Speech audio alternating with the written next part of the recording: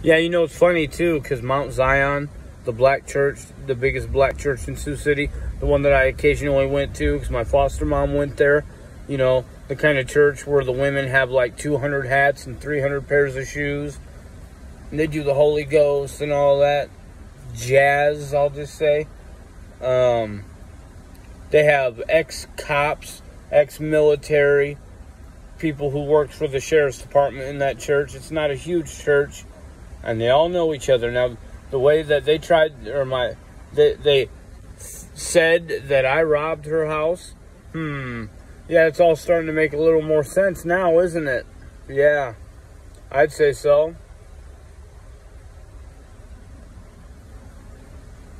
Why they would do that? Oh, because they're connected to the sheriff's department.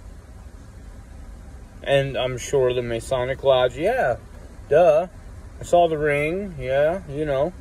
Yeah, Masons and sheriffs and who else? What else is tied in there? If you didn't want me to talk about you, you shouldn't have gave me something to talk about. You shouldn't.